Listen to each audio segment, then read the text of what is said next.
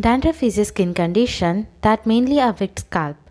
Symptoms include flakings and sometimes mild itchiness. Dandruff is not a severe health issue. If it is not treated, it leads to rashes over face, becomes so itchy and inflamed. Let's know how to reduce dandruff in safer and natural method. Holy basil, that is tulsi. It is the best antifungal drug. Leaves of custard apple. Custard apple leaves and seeds have strong antifungal, antimicrobial property. Neem. Neem contains active ingredient nimbecidine, can suppress scalp irritation.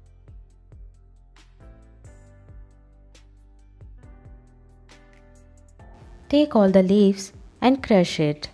Ayurveda recommends crushing those leaves using mortar and pestle because it will help to retain the quality of the essence in those leaves and get complete benefit of those.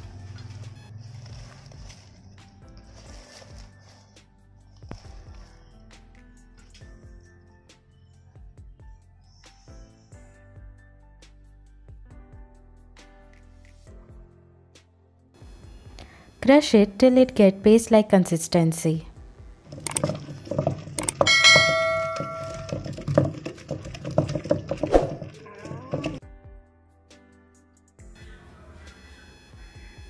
Take the paste in a muslin cloth and try to squeeze as much as possible.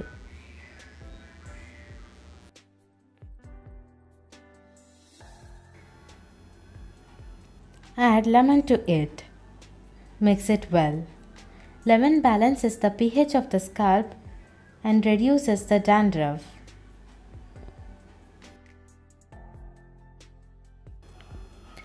Add camphor to it. It helps to moisturize the scalp.